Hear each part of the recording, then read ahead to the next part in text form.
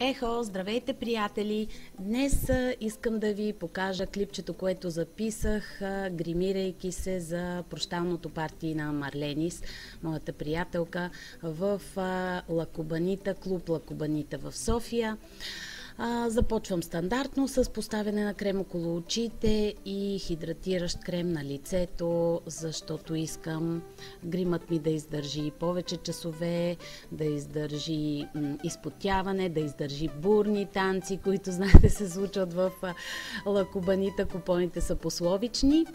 А, бях намислила как ще се гримирам, като имате предвид, че съм с а, черна рокля.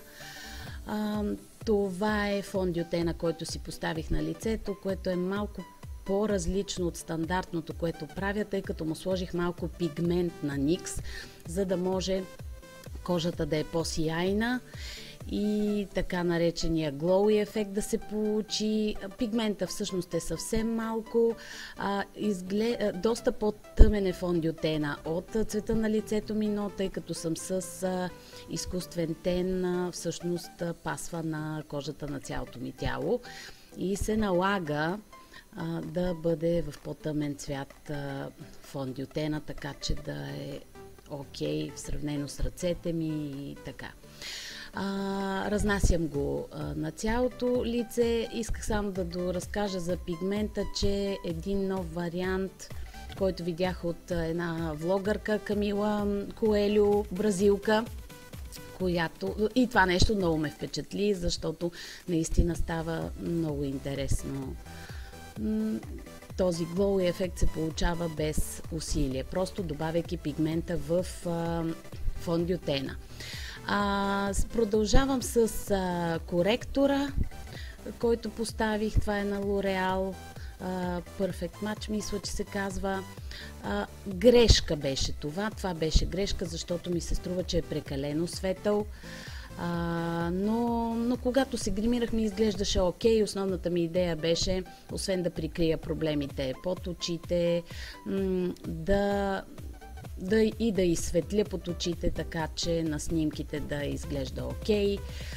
Действително този коректор е много френдли за снимки, много е добър, когато става въпрос за снимки, но в случая ми се струва, че беше доста по-светъл от, от това, което трябваше да поставя, но така или иначе приключила вече работата.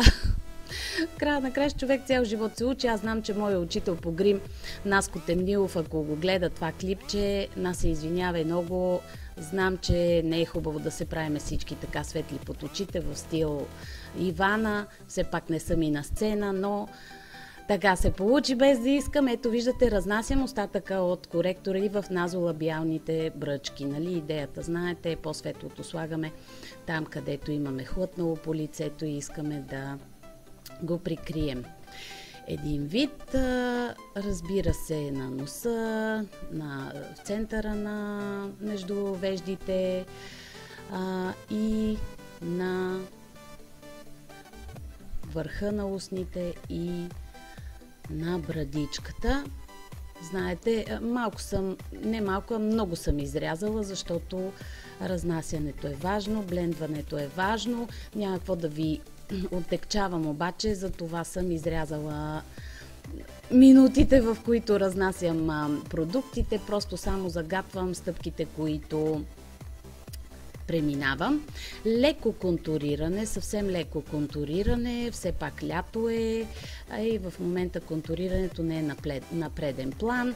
По-скоро така, по-скоро оформяне на на лицето, леко, деликатно, без да е много набиващо се на очи. Контурирането продуктите ги виждате, слагам снимки, което не показвам на камерата, съм сложила снимки. И общо взето се надявам да ви дам някаква идея, когато имате повод да си направите някакъв по-силен грим, по-сериозен грим, вечерен грим, тъй като и в канала до сега не съм правила грим вечерен, мисля, така че това ще е вечерния грим, който показвам. Разбира се, коректора и контура ще сетнем, ще сетнем с а, пудричка, по-обилни сме под очите, защото коректора там също беше доста по-обилен и знаете, той е по-течен и е важно да го фиксираме с пудричка. А, ползвам, както винаги, знаете, тази на Крилан Anti-Shine. А, с малката четчица минавам точно върху а, зоните, които съм сложила коректор, а с голямата кабуки четка на Елф слагам така по останалата част на лицето тъй като предпочитам лицето ми да е матово, не искам да лъщя на снимките. Така или иначе, доста снимки се правиха и не исках да лъщя. Идва кошмарът за мен, оправянето на веждите. Тука, тука колко щях да кажа лента, то пък вече не е лента с дигиталните апарати, ама тук доста минути отделих и доста време загубих. Спестила съм ви ги, просто само ви загатвам времето, което ми отделиха веждите за доизкосоряване, за изчистване, отново рисуване и така нататък. какво следва? Следва, това е един от любимите ми стикове, които са нещо като коректор, а всъщност са а, основа за очи. Можете да го сложите на целия клепач преди да се гримирате. Аз предпочитам да го сложа под веждите, за да може да фиксирам това, което в момента съм очертала по веждите си, както и да прикрия а, някои несъвършенства там, зачервявания. Ето виждате, отново минавам с пудрата на мак, защото трябва да бъде доизкосорено. И това е другия, другата основа за грим, която обаче е черна, пак на LA Girl и аз много-много я харесвам, поставена на очите, ако са по-светли цветовете след това или и много пигментирани, дава също много интересен ефект, но в случая искаме да подчертаем а, графитено сивото, което след малко ще поставя. Разбира се, с изкуствена четка, разнасям хубаво върху клепача и леко нагоре блендвам, разнасям. А, с този цвят Naked от обожаваната от мен палитра Naked едно, Naked палет едно първата, а, си правим а, плавното преливане между а, черния, черната база и бежевата база. Светлата част, знаете, този цвят се слага под веждите, за да направим изразително окото и в вътрешния ъгъл на окото на клепача ще видите в момента. Да, ето, разнасям го в момента. Това е първото, което слагам като... Второто, което слагам като цвят всъщност.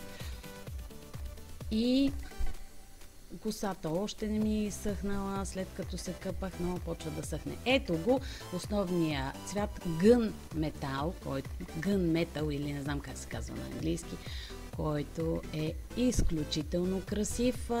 Защо избрах да го слагам с пръсти, остава загадка за мен. Просто като гледах това, което съм записала и аз се чудех, явно съм решила, че така е по-прецизно. Нанасянето цвета е невероятен. А, сиво с момент да видя как го описваха самите в сайта на Urban Decay. Тъмно сив металик с блясък с сребърни микробляскави частици. Действително е а, изключителен цвета, защото ще забележите в а, външния ъгъл на окото аз не слагам по-тъмни сенки.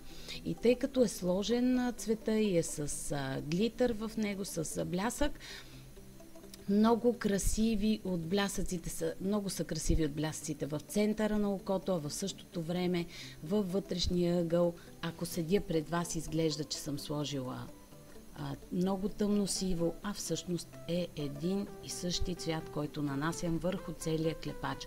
Просто това е ценното на а, хубавите палитри, на, на, на цветовете, на продуктите, в които е вложено много и много е мислено. С един цвят наистина се получава невероятен ефект. Това е моето мнение. Разбира се, може би има някои от вас, които ще са на друго мнение, но аз лично го харесвам адски много така. Избрах да не слагам повече тъмно в ъгъла на окото, защото този цвят е изключителен. Изключителен. Разбира се, малко под очите, тук се губи фокуса, но а, нещо не мога да се справя с моята камера. Когато трябва да се снима наблизо, разнасям под очите с а, такова тампонче. Знаете, че обичам да правя това, защото то и отнема от сенките, които са под очите. Не искам да се разтичат, не искам да изглежда все едно съм тъжна. А, с четчица, с остър връх а, на сигма слага малко отново от а, телесния цвят, така че хубаво да бъде разнесено и опушено, виждате. Сега какво предстои? Само секунда. Аха, с а, а, E25 четката на Sigma, която знаете, че е за разнасяне и с а, телесен цвят по нея продължавам да разнасям, да блендвам а, тъмно-сивия цвят към веждите, така че да е окей. Okay. очертавам окото отдолу и отгоре, отвътре с черен молив. Съжалявам, че не ползвах по-силен черен молив. Този на импала не е достатъчно силен, но така или иначе не, свършила работа, свършила работа. Но един кажал, например, каял или както там бихте го нарекли, щеше много повече да подчертая да е по-черен.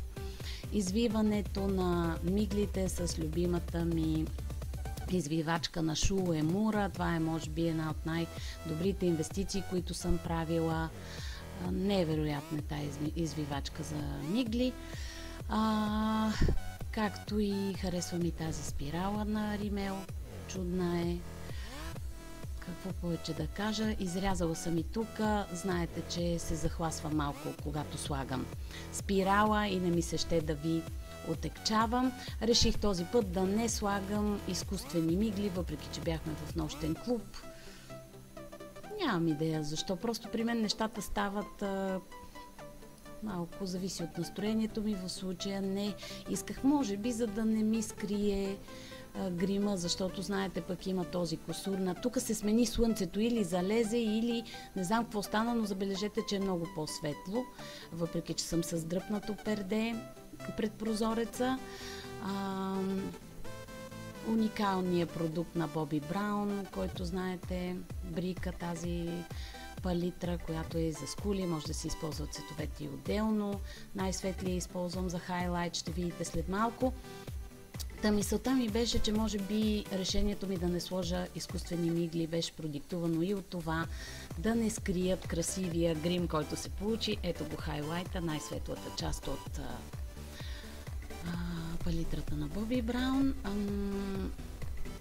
Та, общо взето това е хайлайт, знаете, изключително важно нещо, а, особено като си има предвид, че ще има и снимки и е много важно как ще се получи. Това е червилото, което ползвах. Едното е Color Trend на Avon което много-много го харесвам, защото той е с телесен цвят и е доста сухичко и вместо да очертавам устните си с моли в телесен цвят, просто го ползвам него, ползвам го и само него, в случая обаче за по-глоуи ефект, така за по шики-мики ефект.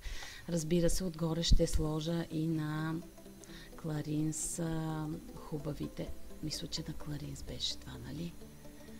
Хубавото червилце, който е в цвят. Видяхте го, бях го снимала нют или нещо такова.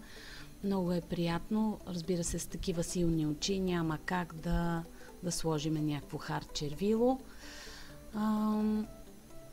Много, много сладко се получи. Последни, последни, последно оправяне на грима И това е финалния изглед. Надявам се, че съм ви била полезна и съм ви дала някакви идеи. Аз бях много щастлива. Това е финалния ми изглед пред лакобанита. До скоро, приятели! Чао!